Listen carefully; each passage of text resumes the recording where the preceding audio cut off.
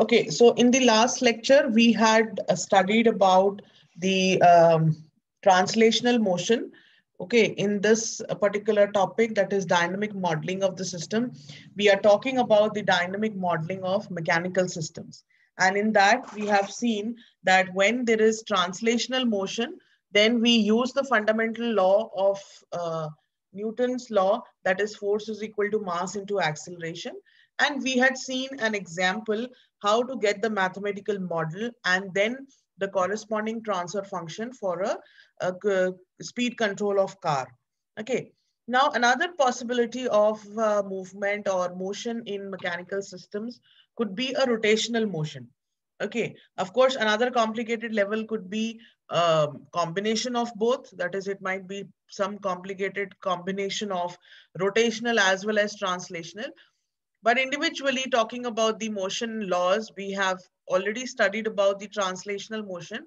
Now today we are going to see one example of rotational motion. Okay, so when whenever we are encountering a rotatory motion in a mechanical system, now the uh, we apply the Newton's law to one-dimensional rotational system that is m is equal to i into alpha, where m is uh, the sum of all external moments about the center of mass of a body. And I is the body's mass moment of inertia about the cent uh, center of mass. And A is the angular acceleration of the body. Okay, so I is moment of inertia and angle is, uh, alpha is angular acceleration of the body. Right, now this fundamental law we are going to use throughout uh, the modeling of uh, the rotational motion of mechanical systems. Okay, so as an example, now we are taking a, a pendulum. Uh, you can see uh, on your screen the diagram for a pendulum. We have to write the equation of motion for the simple pendulum shown in the figure, where all the mass is concentrated at the end point and there is a torque TC applied at the pivot. Okay, now, the question is that from the top, okay, this is a pivot point where the, uh, the link is fixed and at the there is a link of length L and at the other end of the link, there is some mass M.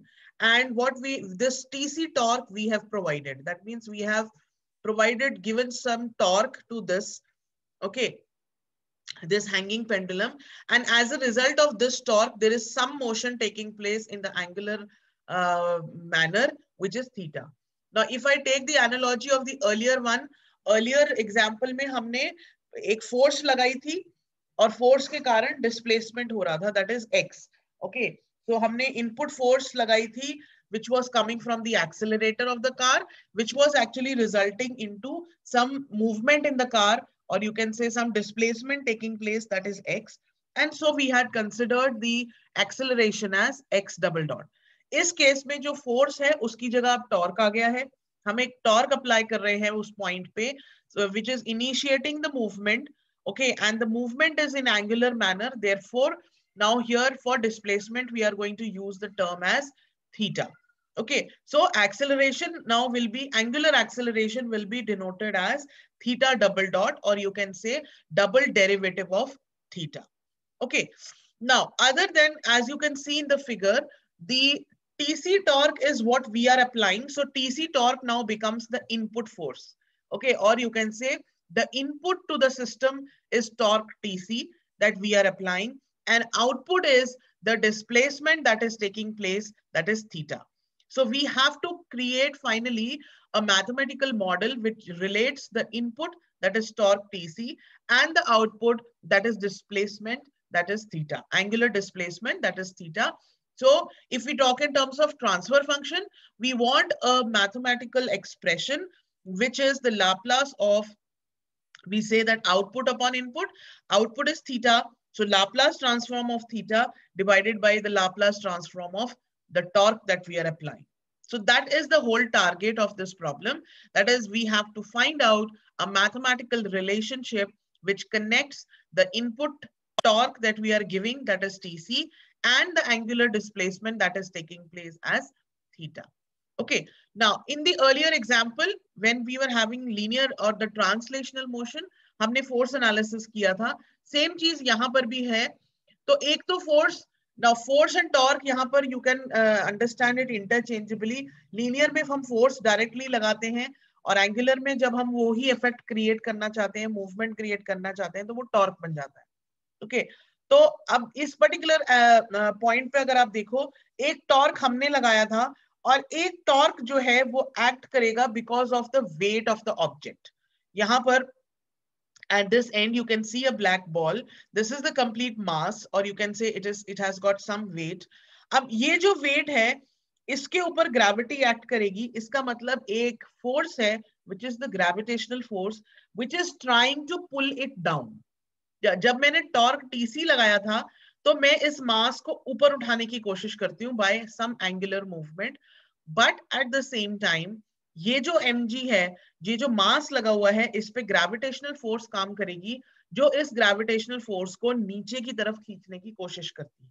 Okay okay, नीचे की तरफ़ खींचने की कोशिश अगर करोगे because it is pivoted with the with some link so of course it cannot free fall. Okay, it will again have a angular movement towards the center. Okay, back towards the center. तो हम, हमारा जो torque था TC वो theta को displace by theta displace करने की कोशिश कर रहा है पेंडुलम को, लेकिन उसका जो वेट है, वो वापस उसे, उसकी ओरिजिनल पोजीशन पर लाने की कोशिश कर रहा है। तो जो टॉर्क इस फोर्स की वजह से लगेगा, ठीक है? If you remember the formula of the torque that is force multiplied by the perpendicular distance from the pivot point तो ये जो फोर्स एक्ट कर रही थी एम यानी कि ग्रेविटेशनल फोर्स इसका वो वाला कॉम्पोनेंट जो सेंटर की तरफ़ एक्ट करेगा, वो multiplied by the length of the link gives me the torque which is going to act in the direction opposite to the input torque once again I am repeating एक torque हम apply कर रहे हैं which is in the positive direction which is trying to displace the pendulum by angle theta. At the same time, the weight of this mass, okay, is giving some, uh, uh, you know, initiating a gravitational force, okay, mg on the mass because this mass is connected with a link to the pivot point, it cannot fall down. So the, the gravitational force will try to bring it back in a circular manner, making theta back to zero, right? So what torque, so an opposing torque is coming from this gravitational force.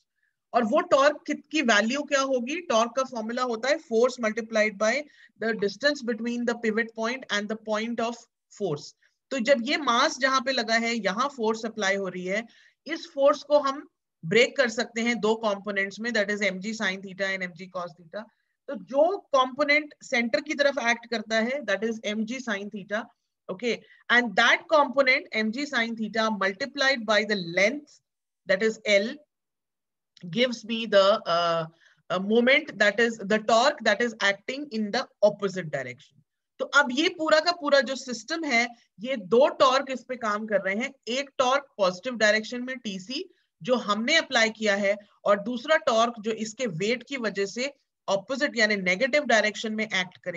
Which is equal to mg m theta into l.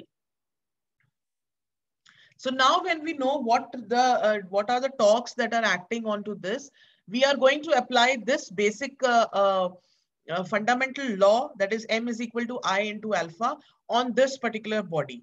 Okay, so now for that, of course, from the point mass, the moment of inertia is the uh, mass times the square of perpendicular distance of uh, the rotational action. So in this case, moment of inertia will be the moment uh, I is equal to m into L square.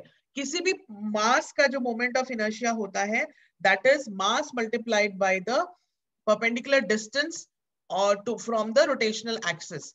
Okay, so m into L square is going to be the moment of inertia of this mass about the pivot point. ये हमें ज़रूरत पड़ेगी जब हम formula में substitute करेंगे The sum of the moments about the pivot point contains a term from the gravity as well as applied torque. So the equation is going to be Tc minus mgl sine theta is equal to I theta double dot. Now, in earlier example हमने क्या किया था दोनों force को balance किया था तो force जो हमने लगाई थी minus the frictional force was equal to mass into acceleration of the body right यहाँ पर moment of inertia sum of the moments is equal to moment of inertia multiplied by angular acceleration moment of inertia होगा M l square ठीक है? Acceleration होगा theta double dot क्योंकि यहाँ पर displacement हमारा थीटा है।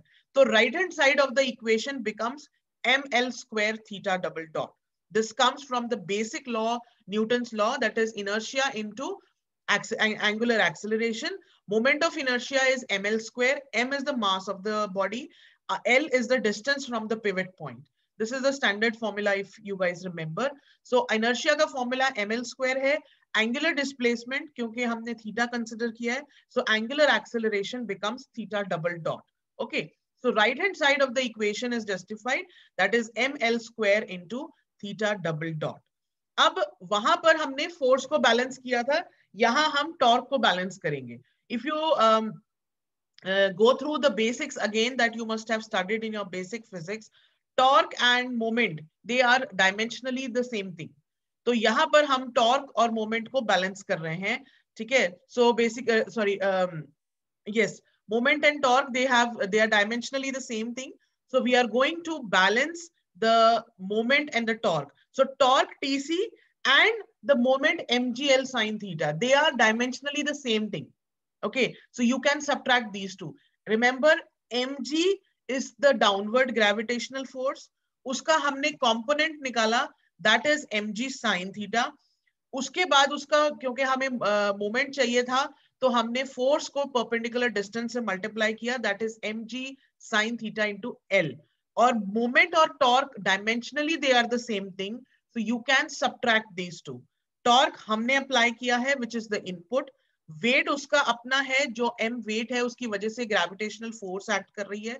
उस फोर्स का जो मोमेंट uh, है that is mgl sine theta and because torque and moment they are dimensionally the same we can balance these two and these two are acting in the opposite directions i am subtracting the two that is tc minus mgl sine theta is equal to on the uh, uh, right hand side of the uh, formula we had i into alpha that is inertia moment of inertia multiplied by the angular displacement okay, angular acceleration. So over here, that is going to be moment of inertia is ml square. m is the mass of the body. L is the distance from the pivot point and in acceleration will be theta double dot. So when I apply the Newton's law of rotational motion on this particular uh, simple pendulum, which is acting under two forces, one torque that we are applying and one is its own body weight. So I get the equation as TC is equal to MGL sine theta is uh, TC minus MGL sine theta is equal to ML square theta double dot. Okay. And then again, of course, now, as I told you in the earlier example also, we want the relation between TC and theta. So I want to rearrange this uh, uh, whole expression. I take all the theta terms on one side. So, I, and then divide it by ML square. So then I get theta double dot plus g upon L sine theta is equal to TC upon ML square. So now this is a, a expression in terms of theta and TC. So now this expression, now if you see this expression, uh, there is a term coming in this expression of sine theta. Now sine theta is not a linear term. Okay, sine theta, if you see, sine theta doesn't follow straight line sine theta is a is a non-linear term coming into uh, this expression. But if, if we want to simplify this, now there is an assumption that is sine theta is equal to theta for very small values of theta. Okay, so in general for sim uh, simple pendulum, what we do is if we are considering a large value of theta, then of course you have to go by the nonlinear expression. But in, in cases where we have small values of theta, there we can have enough, uh, suitably enough, we can substitute sine theta is equal to theta. Okay, and then my expression reduces to theta double dot plus g upon L theta is equal to TC upon ML square. Okay, so again, I can write this in terms of derivative. So that is going to be uh, double derivative of theta plus g by L into single derivative of theta is equal to Tc upon ml square. Okay, I can apply the Laplace transform. When there is theta double dot, s square will come. For theta, there will, uh, will uh, where it is d by dt, it is going to become uh, theta, uh, sorry, when it is theta, it is going to become theta s. Where it is theta double dot, it is going to become s square into theta s. So I can take out theta s common. Uh, in the bracket, I get s square plus g by l. And here Tc is going to get converted into Tc of S. That is Laplace transform of Tc. And this is constant, 1 upon ml square. So for transfer function, now output is theta, input is Tc. I can take the ratio theta upon Tc. That is theta S upon TCS is, is equal to 1 upon ml square upon S square plus G by L. So now this becomes the transfer function of the simple pendulum for small values of theta. Because now here we have used an assumption that sine theta is equal to theta for small cases. This is called linearization of the expression. If I have a very large theta coming into picture, I cannot use this assumption. And in that case, I have to go by this nonlinear expression only. And if it is a nonlinear expression, then usually we do not work in Laplace uh, format. Okay, so for getting the transfer function, I'm assuming that theta value is less. So th sine theta is equal to theta. I can substitute that. I have double derivative of theta plus g by L into theta is equal to Tc upon ml square. I apply Laplace transform to this and then I can take the ratio of Laplace of output upon input that is theta s upon Tcs is equal to 1 upon ml square upon s square plus g by L. So this becomes the transfer function or you can say the mathematical model of a simple pendulum, right?